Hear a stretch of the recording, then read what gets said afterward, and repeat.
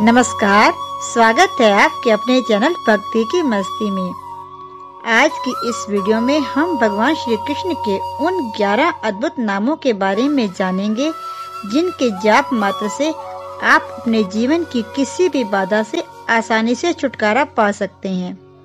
यदि आप चैनल पर नए हैं तो नीचे दिए गए लाल बटन को दबाकर चैनल को सब्सक्राइब कर लें। भगवान श्री कृष्ण के इन ग्यारह नामों का जाप प्रतिदिन करने से घर का वातावरण तो शुद्ध होता ही है, साथ ही एक दिव्य शक्ति आप पर बनी रहती है और जीवन में निराशा से मुक्ति मिलती है। इन नामों को पढ़ने या सुनने मात्र से धन, वैभव और ऐश्वर्य की प्राप्ति होती है। जो भी उनके इन नामों का प्रतिदिन जाप करते हैं या श्रवण करते हैं, भगवान श्री कृष्ण उनके सभी कष्टों और दुखों को हर लेते हैं।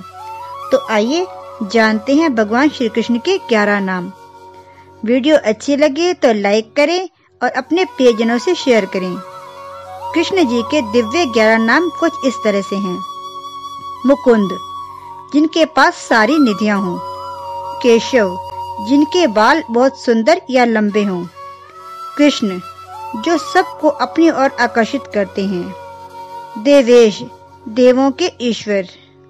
माधव, माया के पति अर्थात ज्ञान के भंडार। अच्युत, अचूक प्रभु, जिनसे कभी कोई भूल न हो। गोपेश, गोपियों के मालिक। मदन, प्रेम के प्रतीक या जो अति सुंदर हैं। यदुपति, यादवों के मालिक। मनोहर, बहुत ही सुंदर रंग रूप वाले प्रभु। रमन जो आनंद में लीन रहते हैं। तो ये थे कृष्ण जी के ग्यारह नाम।